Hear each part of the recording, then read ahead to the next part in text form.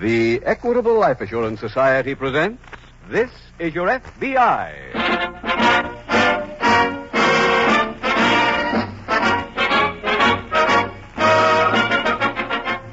This is Your FBI, the official broadcast from the files of the Federal Bureau of Investigation.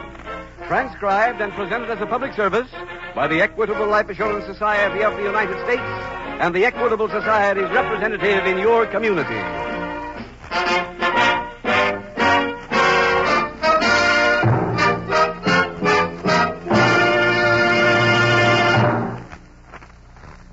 Ever stop to think how a little thing like a penny postcard can change your whole life?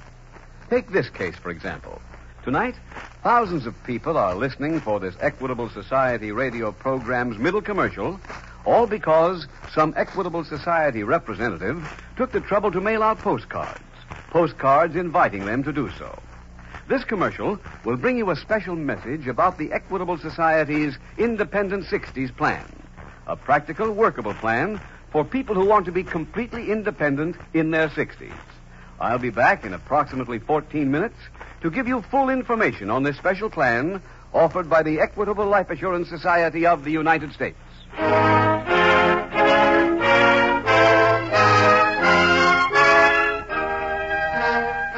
Tonight's FBI file The Runaway Guest.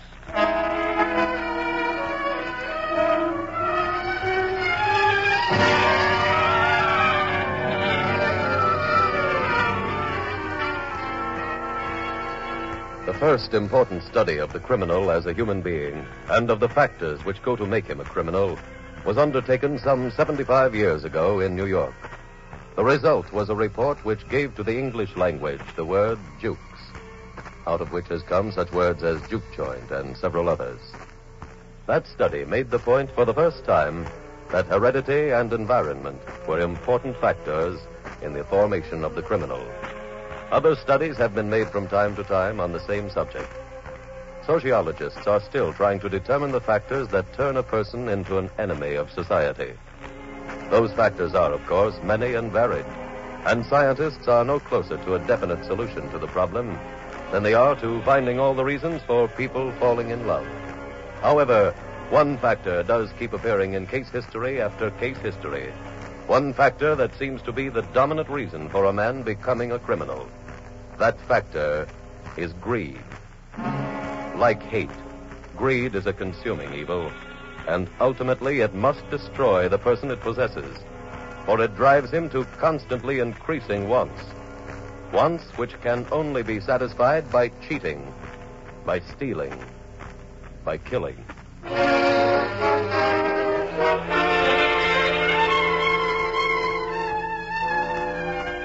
Tonight's file opens on the great American desert. It is nighttime, and two rather elderly men on equally ancient burros are slowly riding along a dusty trail. Ike, look at those stars. Yeah.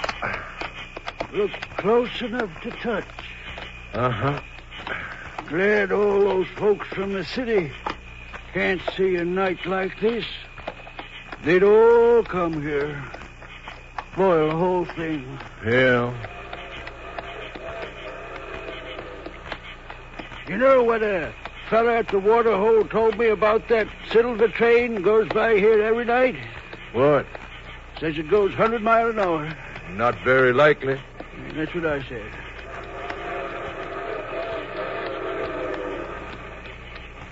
Sure don't go that fast coming up the grade. No. Let's get across the tracks before it comes. No reason to, Floyd. Let's wait. Whoa. Whoa, whoa, whoa. Wonder where it's going. Dangerous to start thinking that way. Why? Next thing you know, you'll be wanting to get on it to find out.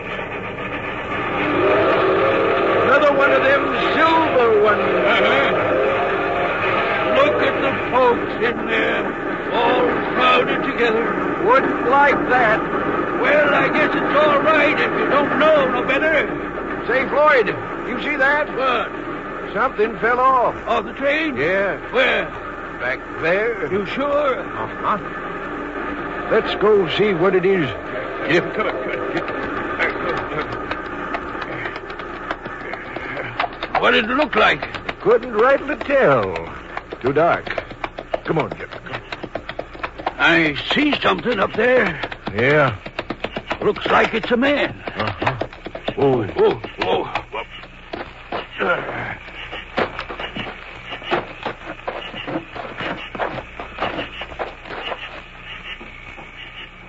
he dead, Floyd? don't think so. He hurt bad? Only thing I can tell is he's bleeding bad. Grab his feet, Ike. Put him on my burro. We'll take him back to the cabin and fix him up.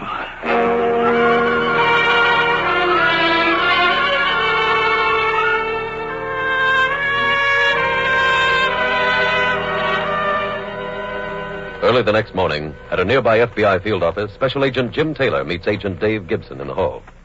Hello, Dave. Oh, hi, Jim. You just signing in? Uh huh. Been over to police headquarters on that Thompson case. Oh.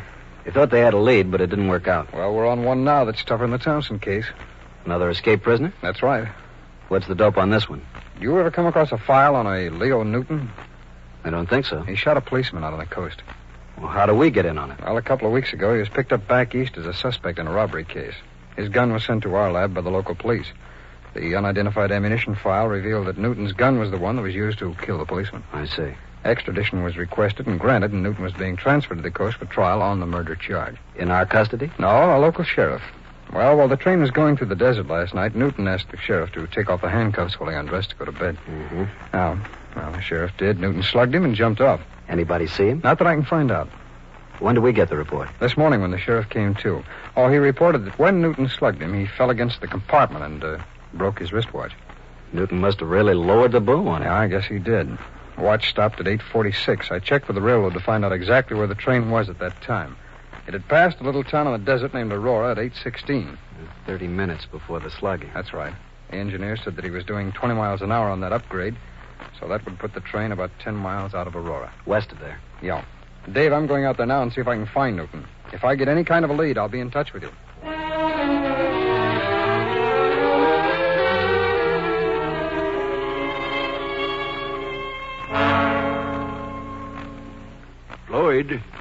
Yeah?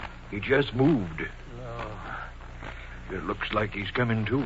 About time. Hello, young fella. Where am I? In our shack. Oh, no, do get up. Who are you? Ike Mason. This is Floyd Edwards. How'd I get here? We picked you up after you fell off in the train. Oh, What's your name? uh, uh Leo. Leo Newton. You remember falling off in train? Uh-huh. How did it happen? Well, it was hot. I I wanted some air. I walked out to the platform. I guess I uh, got dizzy. All I remember is I started to fall. I couldn't stop myself. You're lucky I seen you. You might have laid there for a month. How uh, far is it to town? Depends what town you mean. Anyone. Aurora is the closest. About 18 mile. You're pretty far from anything out here. We like it that way. How do you live? We do a little prospecting.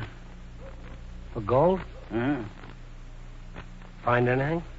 Enough to get our food, water. They got a mine? Uh, no, we ain't. But I... Uh, we just uh, pan for the stuff. Been lucky, huh? Uh, look, mister, asking questions can make you real tired. You'd better get some rest.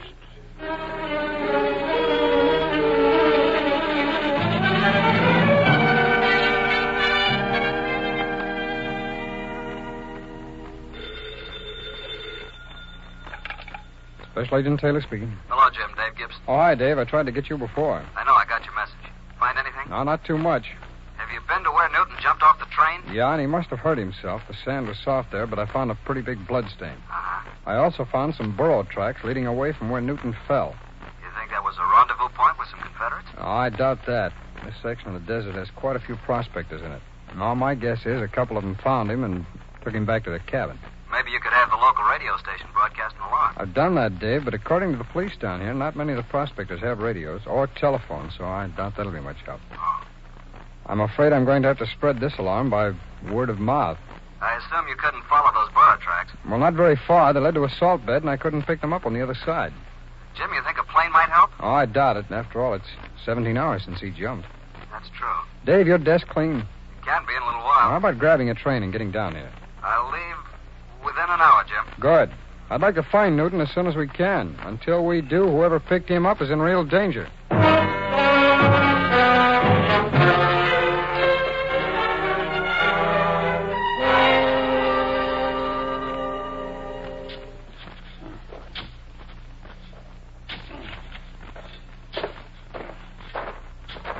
Working hard? Huh?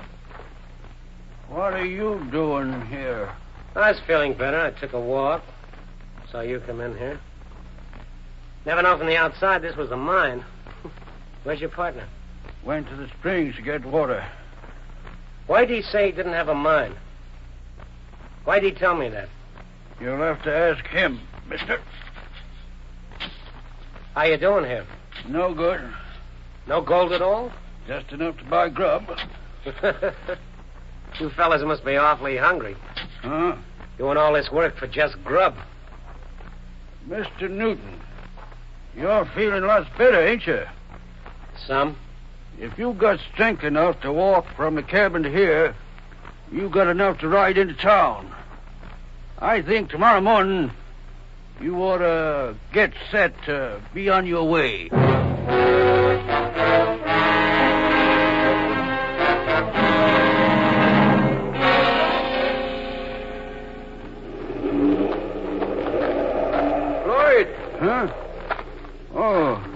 Howdy, Ike. It's fixing to blow pretty hard. Where's Mr. Newton? Back inside the cabin, sleeping? Why? I ran into Pete Roberts at the spring. Uh, Pete told me the police are looking for a fellow who escaped. Describe the fellow. It's him. You sure? Positive. Pete said the police said the fellow escaped by jumping off the train. He's a crook, that. Seems so. I knew it this afternoon. Uh, what do you mean? He followed me to the mine. Asked a lot of questions. Does he know we've got gold? No.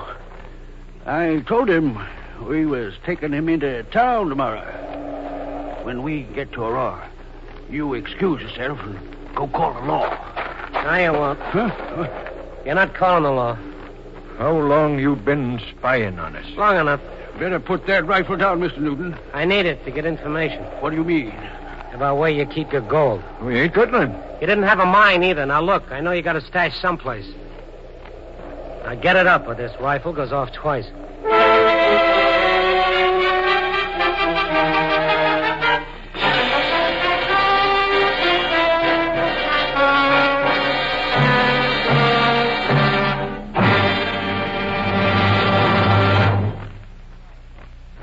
Return in just a minute to tonight's exciting FBI file. Tonight, on the 1st of July, with Independence Day only two days away, seems a specially appropriate time to invite you to take advantage of the Equitable Society's famous Independent 60s plan. The Equitable Society created this plan for self reliant Americans who want to keep on being independent after they're 60 years old. For men and women who want to be self respecting and self supporting, able to do what they choose and live where they choose. My wife and I bought a nice little seven acre farm. We keep our own cows, chickens, and have a big garden. That's one way to beat the high cost of living. I can well believe it. We have a deep freeze so we can have our own fruits and vegetables all winter long. Every time I talk to a man who's retired on an Equitable Society Independent 60s plan, there's just one thought that comes to my head. Why doesn't everybody have a plan like this? Many people make the same mistake I made for years. They think you have to be rich to afford a plan like this. What opened your eyes? My Equitable Society representative. He showed me that I was already halfway towards independent 60, thanks to Social Security and the life insurance I already own. That's a fact. In many cases, only a small amount of additional insurance is required to enable a man to look forward with complete confidence to independent 60s. A few extra dollars a week did it for me. So, why not see your Equitable representative without delay? Phone him soon. Or send a postcard care of this station to the Equitable Society. That's E Q U I T A B L E. The Equitable Life Assurance Society of the United The Runaway Guest. Apart in another human being's life without a second's worth of remorse. That killer does not talk out of the side of his mouth. He is distinctly not the average murderer you meet in fiction stories. He is articulate. He buys his clothes in the same stores you do.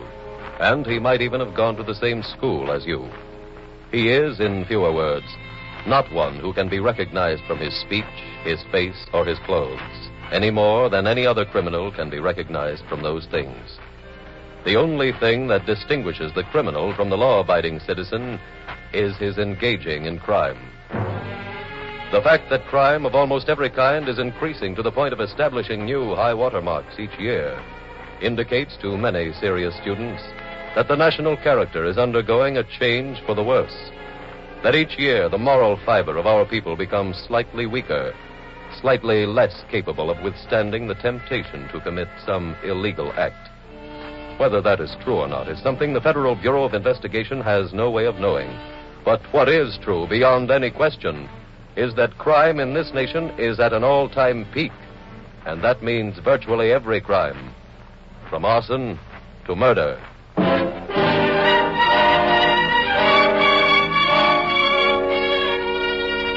Tonight's file continues at police headquarters in Aurora. Agent Gibson has just arrived to join Special Agent Jim Taylor. Anything come in on Newton, Jim? No, not a thing. Quite a storm blowing up. Yeah, yeah, I know, Dave. I was hoping you'd get Newton before I got here. Well, so was I, but he hasn't come into town since he jumped the train. I see. I've posted pictures of him around town, and the editor of the local weekly is going to run his picture. Most of the people around here get the paper. When does that come out? Well, that's the trouble, Dave. Not for three days. I spent some time studying Newton's record while I was at the office, Jim. Oh? With a gun in his hands, he's a potential killer every minute. He gives no warning when he's going to start shooting. He just levels the gun and lets go. That's why we've got to get him as soon as we possibly can. Are there any leads at all? Well, not much. No, one of the burros has a cleft on the right front hoof. I'm going to check on that now. Where? Over at the assayer's office. If I'm right about the owners of those burros being prospectors, maybe the assayer can help us find out which ones they were.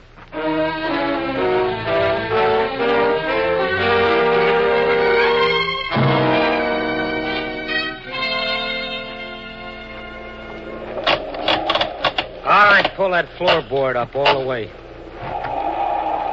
Hey, listen to that wind. Maybe it'll blow the joint over and save us a lot of hard work. Now, let me have a look. There's nothing under I'll see for myself. Well, we'll just rip up someplace else. Look, mister, I'm tired. We'll tear this whole shack down if we have to. I'm going to find that gold. Now, let's, uh, let's try underneath the bed. Slide the bed out of the way. It ain't there. Move the bed. Very well.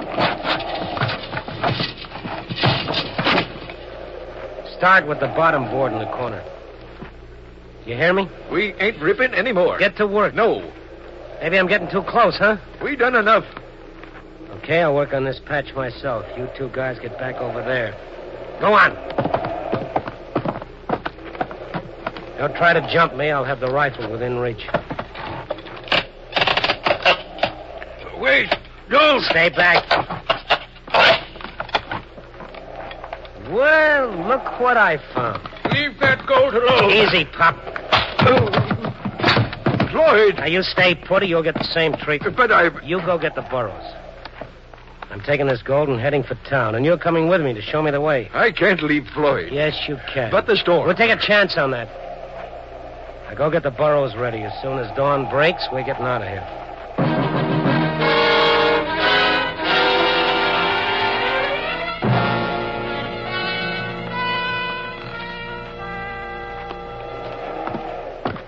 Dave, maybe we can get someplace with this map. What do you got? Well, the assayer's office got up this list of all the prospectors for us. Here, take a look. Not as many as I thought there'd be. No, that's one break we got, but here, wait till you get a look at where their cabins are. Is that what those marks on the map are? Yeah, yeah, that's right. But the only line running through that territory is this black line representing railroad tracks, Jim. There are no roads. I know that, so let's split the list in half. I'll take everything this side of the tracks. But how do we travel? That's already been taken care of. I, I went by the ranger station to make arrangements to use their jeeps, and they had some walkie-talkies. We've got a pair of them. They'll also give us any other cooperation they can. Fine. Then we can check with each other, say, oh, every half hour. And as soon as either one of us finds anything, we'll get together.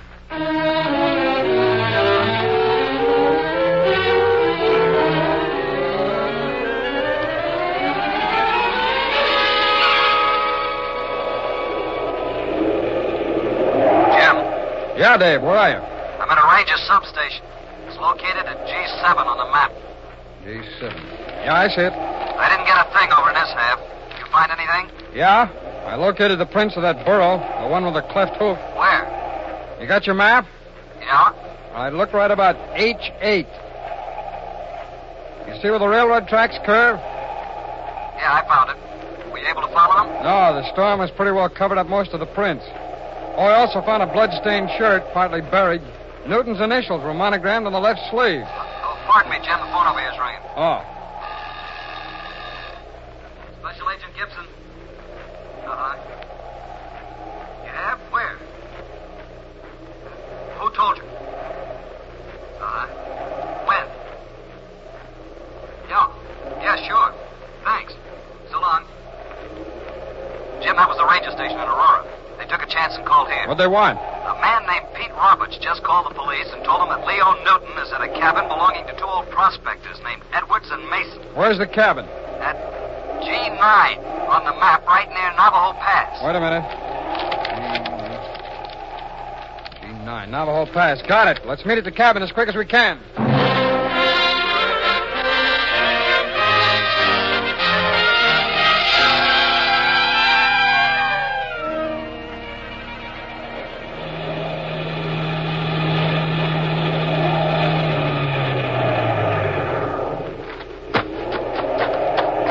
Jim? No, no, I just got here myself. All right, cover me, Dave. Okay.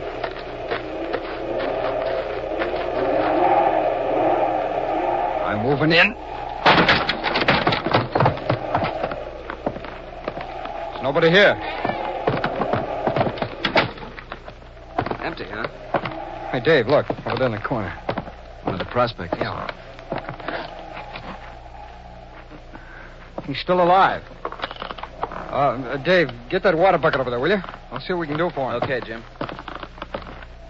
His head's bleeding. He must have been slugged. Yeah. Uh, here you are. Here's a rag. Oh, thanks. It's a pretty nasty cut.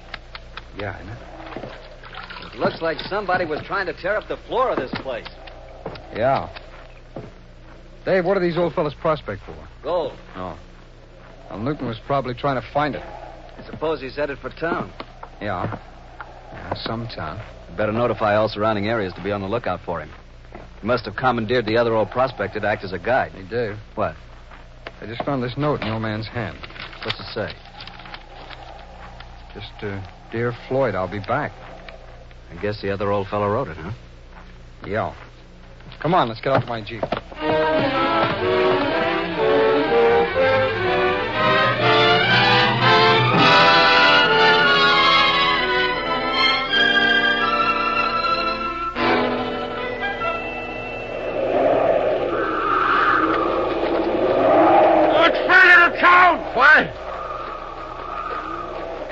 I said, well, it's further to town. Not fur. What do you call this kind of a storm again? A simoom. Sure blows the sand around. How long they last? No telling. Maybe a day, maybe a week. It's a good time to get out of here. Any water left? No. Hey! What? Cabin up ahead. I see it. Come to the edge of town? That's a cabin, ain't it? Wait a minute, that's. That's your cabin. Huh? That's your cabin. Well, what do you know? You've been taking me around in circles. I guess maybe I have. It's quite a joke, and I got one that tops it, and this one's going to be on you. Put down that rifle. You're getting it, Pop. Ah! You all right, Mr. Oh, thanks to you, I am good shooting, mister. I mister. just knocked the gun out of his hands. All right, come on, Newton. You're not hurt. Who are you? We're special agents of the FBI. We're arresting you for attempted murder.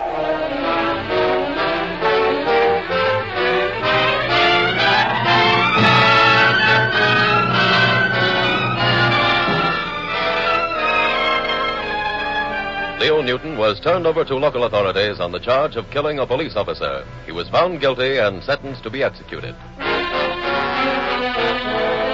Special Agents Taylor and Gibson waited at the cabin instead of attempting to pursue the fugitive because of the note found in the unconscious prospector's hand.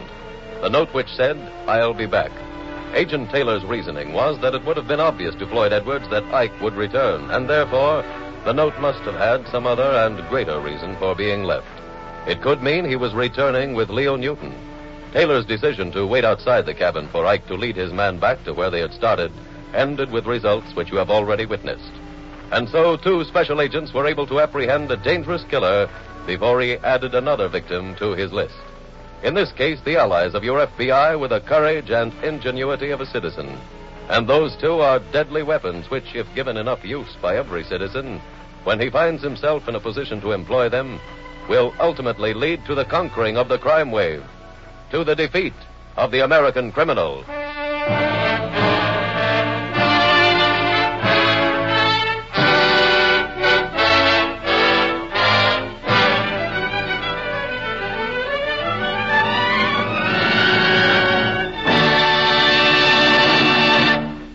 In just a moment, we will tell you about next week's exciting case from the files of your FBI. Now, two final questions on the Equitable Society's Independent 60s plan. Mr. Keating, did you say Social Security and my present life insurance will help get one of these plans? Very definitely. In many cases, the two combined take care of the major cost of the plan. Well, about how much do you think I'd get each month when I'm 60? Well, that depends, of course, on your present earnings and your future needs. You and your equitable representative can work it out together. Give him a ring any time. He'll be glad to drop over for a friendly visit. Or write care of this station to the Equitable Life Assurance Society of the United States.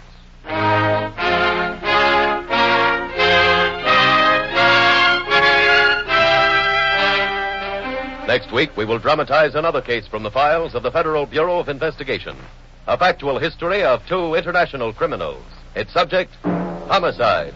Its title, The Transatlantic Shakedown.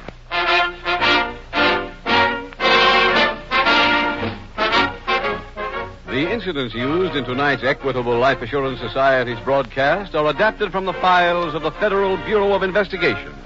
However, all names used are fictitious, and any similarity thereof to the names of persons living or dead is accidental.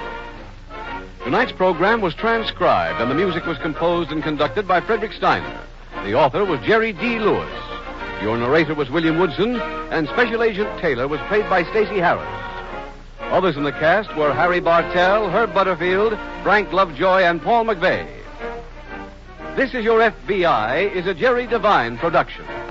This is Larry Keating speaking for the Equitable Life Assurance Society of the United States and the Equitable Society's representative in your community, and inviting you to tune in again next week at this same time when the Equitable Life Assurance Society will bring you another thrilling story from the files of the Federal Bureau of Investigation.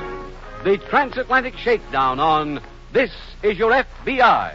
This is ABC, the American Broadcasting Company.